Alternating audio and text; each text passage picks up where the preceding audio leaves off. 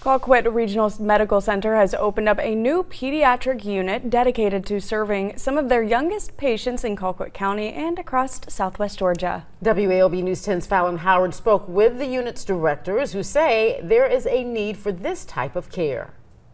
This new unit offers the latest technology, patient monitors, and is a space that is child and family friendly. We're behind locked doors, gives them an added security.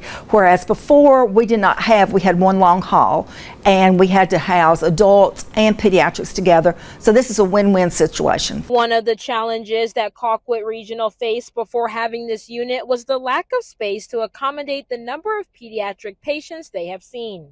Community hospitals in general have have grown and changed and morphed um, th just throughout the years. And one of the things we've noticed is that a lot of community-based hospitals like Colquitt Regional have either closed down their pediatrics unit or really limited the amount of pediatric patients that they admit. One unique aspect about the new unit is that the nurses are adequately trained with the resources they need to serve the population.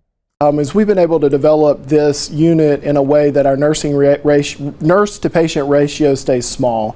So our goal is to keep that at three to one, whereas on an adult floor that can sometimes be five to six patients per one nurse. Coming up on WALB News 10 at 6, you'll hear from the directors about the importance of keeping patients in the community.